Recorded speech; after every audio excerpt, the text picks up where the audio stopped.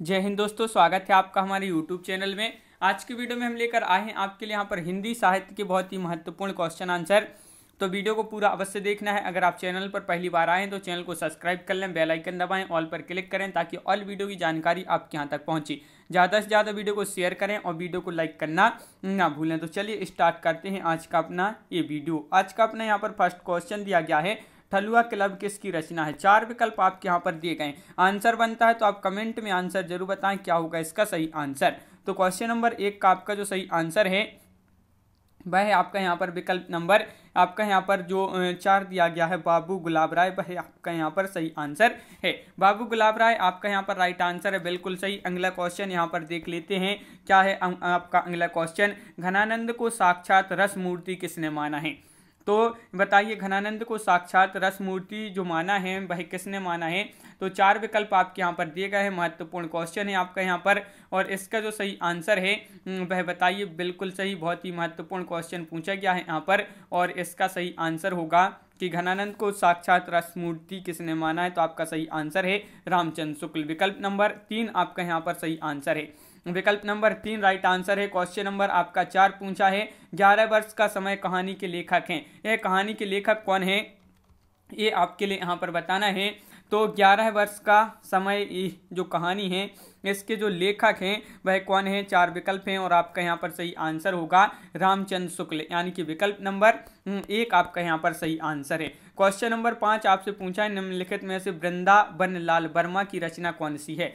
तो वृंदावन लाल वर्मा की रचना बताना है क्वेश्चन नंबर पाँच में। कौन सी इनकी रचना है? तो आपका यहाँ पर सही आंसर है क्वेश्चन नंबर पाँच का आपका राइट आंसर है।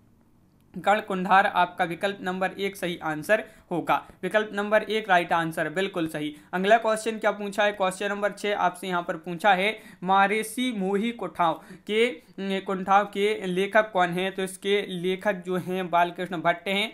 चंद्रधर शर्मा गुलेरी हैं, उदय शंकर भट्ट हैं रामवृक्ष बेनीपुरी हैं। तो आपका यहाँ पर सही आंसर है चंद्रधर शर्मा गुलेरी, यानी कि विकल्प नंबर दो आपका यहाँ पर सही आंसर है।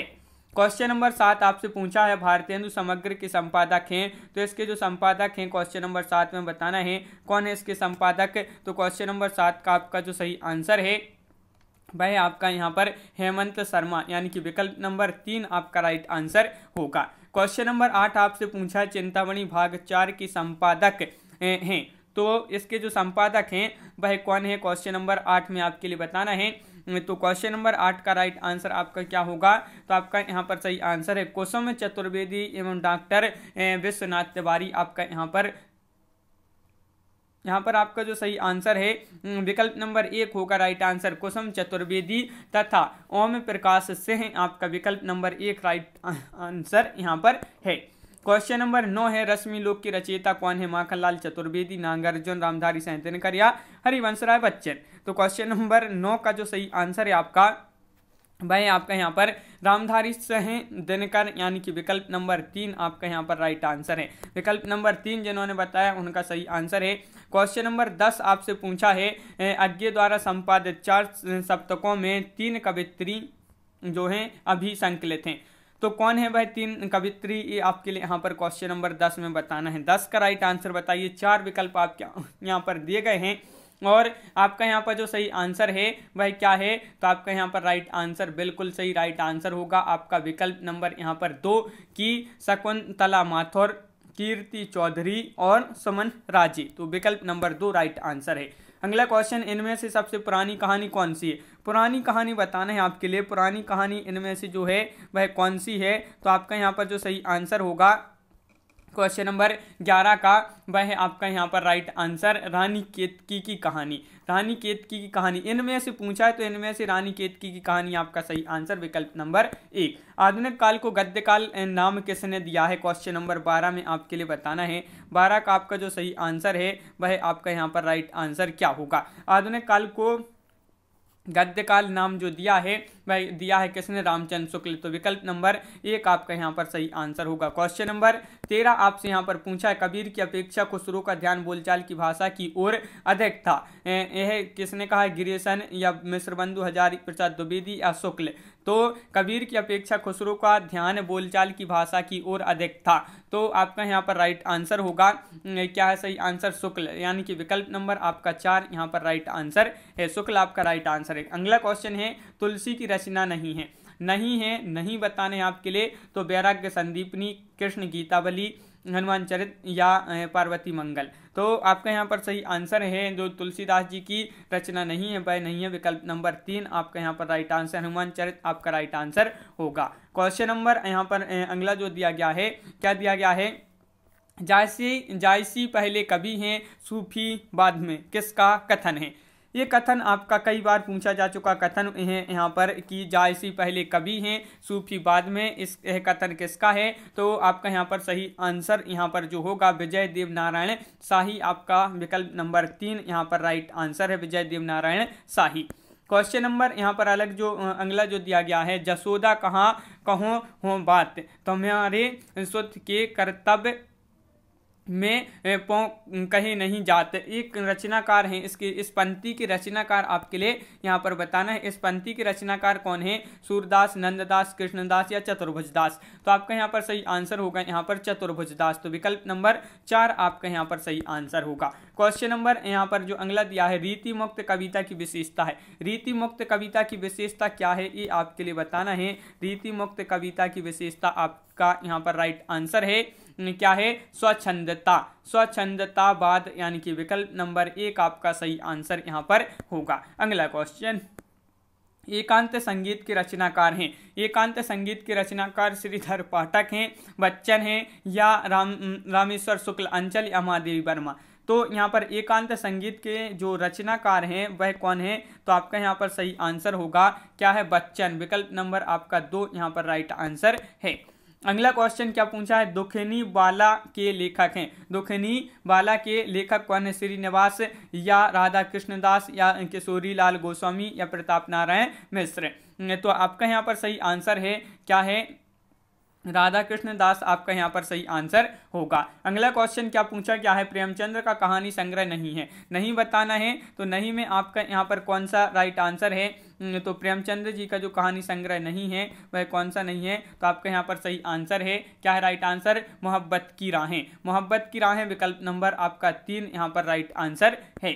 अगला क्वेश्चन क्या पूछा है? रेणु का कहानी संग्रह नहीं है। रेणु का कहानी संग्रह नहीं है तो आपका यहाँ पर जो सही आंसर है, वह क्या है? तो महत्वपूर्ण क्वेश्चन पूछा गया है और रेणु का कहानी संग्रह नहीं है तो आपका सही आंसर है गरीबी हटाओ। विकल्प नंबर चार, आपका यहाँ पर सही आंसर है गरीबी हटाओ, आपका राइट आंसर है। मृणाल किस उपन्यास की पात्र है? निर्वासित परख, त्यागपत त्यागपत या अंतराल? तो जो मृणाल हैं, ये किस उपन्यास की पात्र हैं, ये आपके लिए बताना है तो आपका सही आंसर है त्यागपत। त्यागपत आपका यहाँ पर विकल्प नंबर तीन, राइट आंसर यहाँ पर होगा। अगला क्वेश्चन क्या पूछा है? बम्बई के मजदूर संगठन के लेखक सॉरी यहाँ पर है बम्बई के मजदूर संगठन के जीवन संघर्ष पर जीवन संघर्ष पर आधारित उपन्यास है। उपन्यास बताना है कौन सा उपन्यास? इनकी जो है जीवन संघर्ष पर आधारित है। तो आपका यहाँ पर सही आंसर होगा आवा। यानी कि विकल्प नंबर आपका एक, यहाँ पर राइट आंसर है। बिल्कुल सही। अगला क्वेश्चन क्या पूछा गया है? स्वदेश दीपक की रचना है। कौन सी है? तो स्वदेश दीपक की रचना जो है आधे अधूरे या कबरा खड़ा बाज़ार में, कबीरा खड़ा बाज़ार में या बकरी या कोर्ट मार्शल। तो आपका यहाँ पर सही आंसर है कोर्ट मार्शल। ये स्वदेश दीपक की रचना है। अगला क्वेश्चन क्या पूछा गया है? हिम विद्य रचना है। जगदीश गुप्त, शमशीर बहादुर सिंह, कुंवर नारायण या दुष्यंत कुमार। तो हेम विद्य जो रचना है, वह है जगदीश गुप्त। यानी कि विकल्प नंबर एक आपका यहाँ पर राइट आंसर होगा। अगला क्वेश्चन है, फूलों का कुर्ता कहानी है, नरेश मेहता या शेखर जोशी, कमलेश्वर या यशपाल। तो आपका यहाँ पर राइट आंसर क्या होगा? फूलों का कुर्ता। फूलों का कुर्ता कहानी है तो आपका यहाँ पर जो सही आंसर है, वह है आपका राइट आंसर यशपाल। यशपाल यानी कि विकल्प नंबर चार आपका सही आंसर यहाँ पर है। अगला क्वेश्चन है, रामचंद्र शुक्ल मनोवैज्ञानिक निबंध किस पत्रिका में प्रकाशित हुए हैं? तो कौन सी पत्रिका में ये निबंध प्रकाशित हुए हैं? सरस्वती में, नागरी प्रचारणी में, सुधा में या हितवाणी में? तो आपका सही आंसर होगा, नागरी प्रचारणी आपका यहाँ पर विकल्प नंबर दो यहाँ पर क्या है? राइट आंसर है, विकल्प नंबर दो, बिल्कुल सही। अगला क्वेश्चन क्या पूछा गया है? तो देख लेते हैं, राम स्वयंवर के लेखक यहाँ पर आपके लिए बताना है, रघुराज सह, राजा लक्ष्मण या रघुनाथ सह? तो आपका यहाँ पर जो सही आंसर होगा वह क्या होगा राइट आंसर तो आपका यहाँ पर सही आंसर है अज्ञे, यहाँ पर सॉरी यहाँ पर आपका जो सही आंसर है रघु राज से आपका यहाँ पर सही आंसर है रघु राज से जिन्होंने बताया है, उनका यहाँ पर सही आंसर है। सागर मुद्रा रचना है तो सागर मुद्रा, ये रचना किसकी है? गिरजा कुमार माथुर, धर्मवीर भारती, अज्ञे या धूमिल? तो यहाँ पर सागर मुद्रा बताना है, सागर मुद्रा ये रचना किसकी है? तो आपका यहाँ पर सही आंसर होगा। क्या होगा राइट आंसर अज्ञे आपका विकल्प नंबर तीन यहाँ पर राइट आंसर है। अगला क्वेश्चन क्या पूछा क्या है? रीतिकाल को गुंडेपन और सोहदेपन की हरकत कहकर जो है, हर किसने पुकारा है इसको? रीतिकाल को गुंडेपन और सोहदेपन की हरकत कहकर किसने पुकारा है? आचार्य शुक्ल राम कुमार वर्मा, डॉक्टर नगेंद्र या डॉक्टर भगीरथ भागीरथ मिश्र। तो आपका यहाँ पर सही आंसर क्या होगा? तो आपका सही आंसर है डॉक्टर नगेंद्र, यानी कि विकल्प नंबर तीन आपका सही आंसर यहाँ पर है। अगला क्वेश्चन है, कृष्ण रामायण किसने लिखी है? तो कृष्ण रामायण जो लिखी है, ये किसने लिखी है? ये आपके लिए बताना है। तो कृष्ण रामायण किसने लिखी है? महत्वपूर्ण क्वेश्चन पूछा क्या है? और आपका यहाँ पर जो सही आंसर होगा, वह होगा आपका यहाँ पर घना रंग घना रंग दबे, दुबे आपका यहाँ पर सही आंसर है।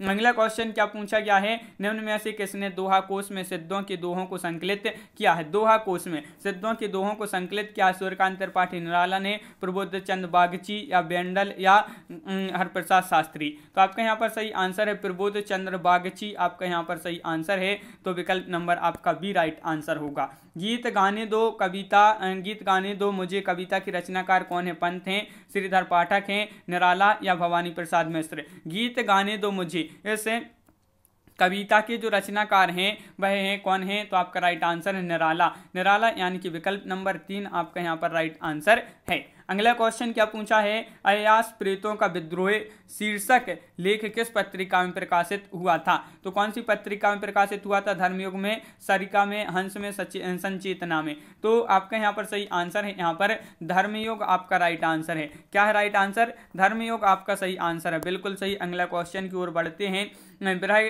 तथा पंथनी। रचना किसकी है? ये रचना आपके लिए यहाँ पर बताना है। तो आपका यहाँ पर जो सही आंसर है, क्या है राइट आंसर विरह तथा पंथनी रचना किसकी है? तो आपका राइट आंसर यहाँ पर होगा। सॉरी, बिहाग है यहाँ पर, बिहाग तथा पंथनी।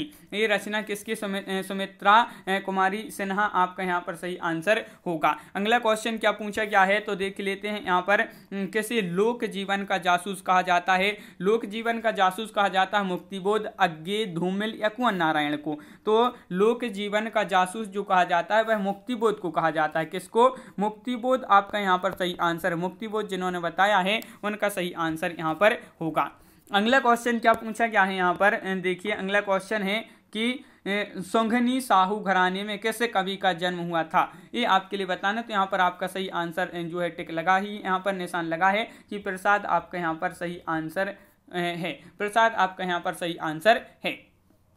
अगला क्वेश्चन क्या है? यहाँ पर देखिए, कोंकणी भाषा किस लिपि में लिखी जाती है? ये आपके लिए बताना है। कोंकणी भाषा जो है किस लिपि में लिखी जाती है? तो आपका यहाँ पर लहिंदा या नांगरी गुरुमुखी, या संसारदा। तो आपका यहाँ पर सही आंसर क्या है?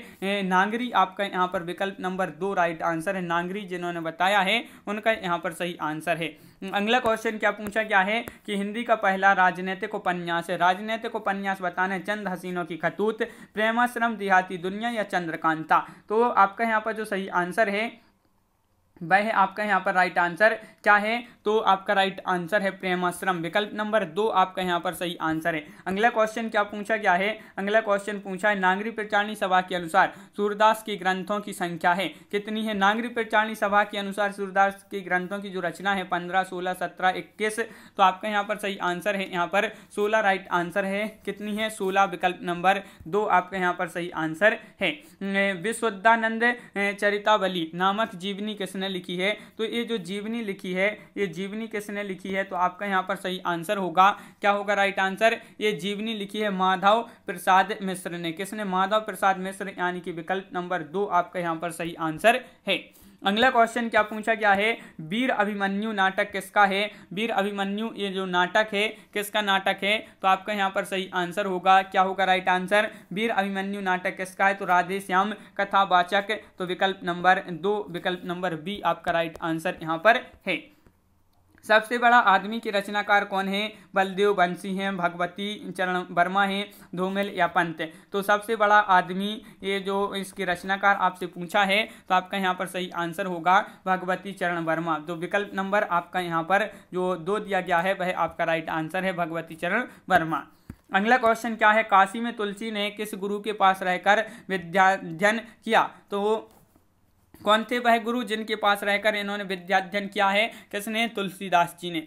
तो आपका यहाँ पर सही आंसर है शेष सनातन। क्या है राइट आंसर विकल्प नंबर एक आपका यहाँ पर सही आंसर है। शेष सनातन आपका राइट आंसर है। अगला क्वेश्चन है, काशी में तुलसी ने किस गुरु के पास रहकर विद्याध्यन किया? ये क्वेश्चन डबल हो गया। शेष सनातन आपका राइट आंसर है। अगला क्वेश्चन की ओर बढ़ते हैं। तो अगला क्वेश्चन क्या है? छायावाद को अभिव्यंजनावाद का विलायती संस्करण किस आलोचक ने माना है? तो ये जो माना है, यह किसने माना है? तो आपका यहाँ पर सही आंसर है विकल्प नंबर शुक्ल मुक्तिबोध या रामविलास। तो शुक्ल आपका यहाँ पर सही आंसर है आपका शुक्ल यहाँ पर जिन्होंने बताया है, उनका सही आंसर है। अगला क्वेश्चन क्या पूछा है? विद्यापति को सर्वप्रथम रहस्यवादी कवि किसने माना है? रहस्यवादी कवि माना है हजारी प्रसाद द्विवेदी, शुक्ल जी, गिरेशन नागेंद्र। तो आपका यहाँ पर सही आंसर है, विद्यापति को जो रहस्यवादी कवि माना है, वह गिरियसन ने माना है। तो विकल्प नंबर सी आपका यहाँ पर राइट आंसर है। सी आपका राइट आंसर है। अगला क्वेश्चन पूछा गया है, प्राचीन पंडित और कवि किसकी कृति है? महावीर प्रसाद द्विवेदी या माधव प्रसाद मिश्र बाल मुकुंद गुप्त या वियोगी हरि? तो आपका यहाँ पर सही आंसर है, महावीर प्रसाद द्विवेदी, यानी कि विकल्प नंबर एक आपका यहाँ पर सही आंसर है। विकल्प नंबर एक जिन्होंने बताया है, उनका यहाँ पर सही आंसर है। प्रसाद ने पुरस्कार कहानी का प्रकाशन कब हुआ? प्रकाशन पुरस्कार, कहानी का प्रकाशन कब हुआ? तो आपका यहाँ पर राइट आंसर होगा यहाँ पर। क्या होगा राइट आंसर उन्नीस सौ बत्तीस, चौंतीस, छत्तीस, अड़तीस। तो इसका जो प्रकाशन हुआ उन्नीस सौ छत्तीस। आपका यहाँ पर सही आंसर है। अगला क्वेश्चन क्या पूछा गया है? विद्यापति को सिंगार रस का सिद्ध वाक्य कभी किसने कहा है? विद्यापति को। तो क्या है इसका राइट आंसर तो आपका यहाँ पर जो सही आंसर है, वह है आपका यहाँ पर विकल्प नंबर रामविलास शर्मा, या राम कुमार वर्मा हजारी प्रसाद द्विवेदी, रामचंद्र शुक्ल। तो आपका हजारी प्रसाद द्विवेदी, यानी कि विकल्प नंबर सी, आपका यहाँ पर राइट आंसर है। हजारी प्रसाद द्विवेदी जिन्होंने बताया है, उनका सही आंसर है। तो इस प्रकार अपने यहाँ पर बहुत ही महत्वपूर्ण क्वेश्चन कंप्लीट हुए। कैसा लगा ये वीडियो कमेंट में आप ज़रूर बताएँ। अगर आप चैनल पर पहली बार आए हैं तो चैनल को सब्सक्राइब कर लें। बेलाइकन दबाएँ ऑल पर क्लिक करें, ताकि ऑल वीडियो की जानकारी सबसे पहले आपके यहाँ तक पहुँचे। ज़्यादा से ज़्यादा वीडियो को शेयर करना है और वीडियो को लाइक करना ना भूलें। तो सभी लोग एक बार वीडियो को लाइक अवश्य कर लिया करें यार बहुत ही कम लोग यहाँ पर वीडियो को लाइक करते हैं। तो आज की वीडियो में बस इतना ही। सभी के लिए बहुत बहुत धन्यवाद। जय हिंद।